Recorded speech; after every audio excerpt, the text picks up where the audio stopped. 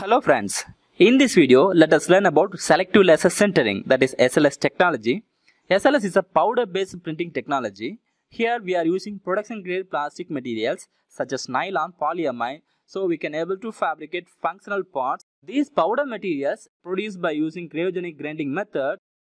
We are using carbon dioxide laser here to heat the powder particles below the melting point and we are making bonding here. Sintering mechanism Initially, the powder will be spreaded over the building platform. The laser source will pass over the powder particles. Due to this laser source, boundary of the powder particles gets micro melted. The viscosity is reduced and the neck is formed here between the powder particles. Particle 1 and particle 2 is there. When the laser source is passed over the powder particles, boundary of the particles mm, getting micro melting and neck is formed between the powders and the joining is made between the powder particles.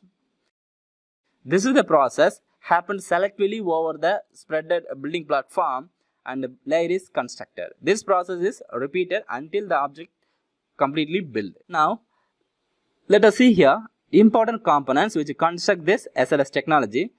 The main first component is powder container. In powder container, there will be a three compartment, compartment 1, compartment 2, compartment 3.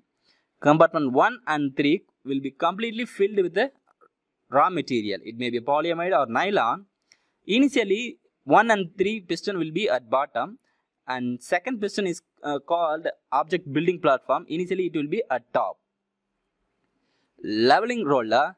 The purpose of leveling roller is to spread out the powder particles over the building platform. This leveling roller will move from left to right, right to left to make a uniform layer over the building platform. It will uh, spread out the raw material over the building platform.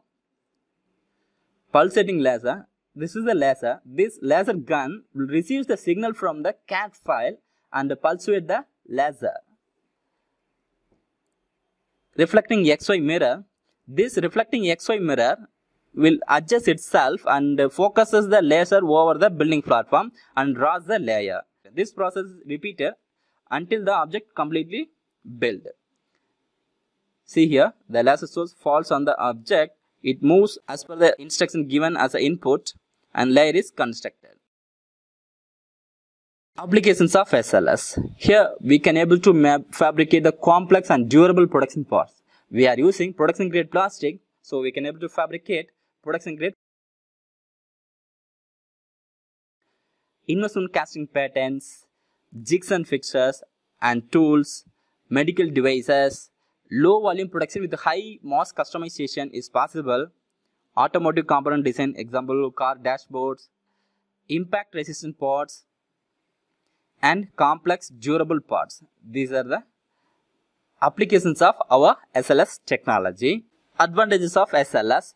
Parts have high strength and stiffness. We are using production grade plastic material. So the parts possess high strength and stiffness, good chemical resistant, it can be substitute for injection molding plastics. The part strength depends upon the size of the powder particle. If you reduce the size, the strength of the object will be increased. So we can able to fabricate the component. The strength will be equal to the injection molding. Also, it's a fastest additive manufacturing process. We can able to uh, fabricate the component in fastest time. Post processing is possible. No need support structure. Loose particles will act as a support structure, so there is no need of removal of support structures. Even though number of advantages, some disadvantages is there. Parts have porous surface because the powder particles we are using, so there is no chance to completely melt. There is a some porous structure, so it will reduce the quality of component. Brittle property.